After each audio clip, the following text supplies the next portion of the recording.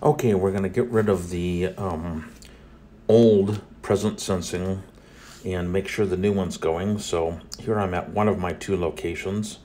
I'll go into the hamburger menu, go into the gear cog, and here you can see get your location from this phone should be on.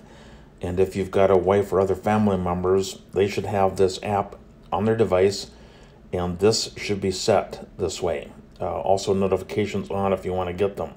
So if I press this, I can see that I've got get your location, this phone is on, and for both my locations, but I've also got this other devices.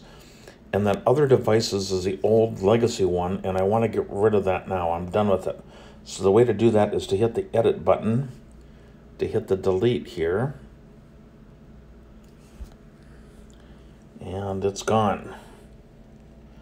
And that'll no longer show up um, on my uh, presence sensing. That's it.